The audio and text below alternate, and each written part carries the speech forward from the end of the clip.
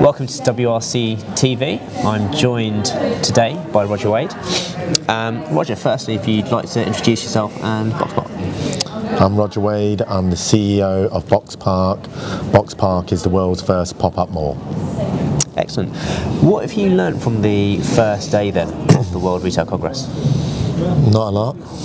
no, only joking. Um, I think um, it was really refreshing to hear the talk from the head of design from Arcadia because I think we're all getting a little bit too carried away with this sort of multi-channel world mm-hmm. and believing that it's going to be the saviour of retail. Yeah. But first and foremost, we've got to remember that people love shopping and we've got to create a, a wonderful shopping environment.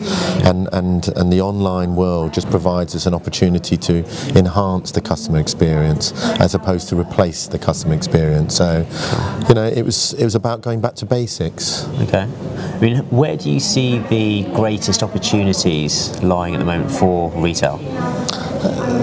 The, the reality is the greatest opportunity for retail at the moment is embracing the online world. Mm-hmm. Not getting too carried away with it, but embracing yeah. it. And, and by that, there is massive opportunities for retailers mm-hmm. to perform fantastically uh, against traditional online e-commerce sites. And examples of that are like John Lewis. Yeah. I mean, I was blown away when I heard from John Lewis that a multi-channel customer spends 350% more than an average customer. Mm-hmm. And I think people really trust the John Lewis brand sure. because they're a bricks and mortar retailer. Mm-hmm. And I think that's a real uh, it's a fantastic advocate for anyone that's running physical retail to say you can go do it because I, people, I think I believe that customers want to buy from stores that they know the names of as opposed to just searching online and it's any Tom, Dick and Harry that would send, sell them any product at any price. Sure. And I suppose conversely, where do you see the greatest obstacles in retail at the moment? The, the, the, greatest obstacle is just have your, your head stuck in the, the sand mm. and to believe that you know this online world isn't happening. Mm. You know the reality it is happening. Sure. You know it's been happening for ten years. Pull your head out the sand yeah. and embrace it and don't be scared by it. Realise the competitive advantages that you've got.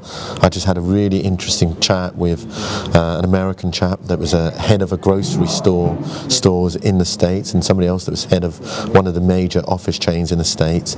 And both of them were just saying that, look, you know, we really believe that we've got the name that can deliver a multi-channel environment. So the reality is it's, it's not so great for the people online, that some people that are on online are definitely looking to come offline as well.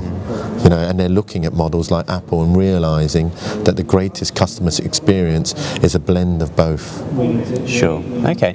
And I mean, I suppose with the, the Eurozone crisis and, and obviously the acceleration of multi-channel, but you mentioned how that embrace that should embrace the stores as well.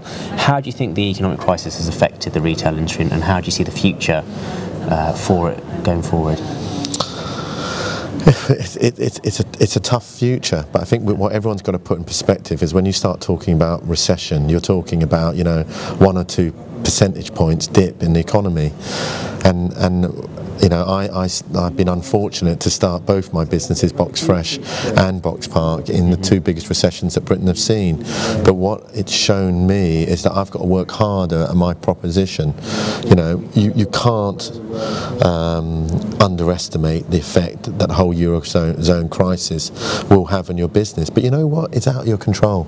It really is. And all you've got to do every day is turn up to work, do the best possible job that you can do, and don't worry worry about things that you can't really affect. Mm. So that's all I really try to do. Just, you know, I mean, I'd rather be in control of my own destiny than relying on some minister in Brussels deciding what I was going to do. You know, sure. I'll take care of it myself. Great, excellent. Well, thanks very much. You're welcome.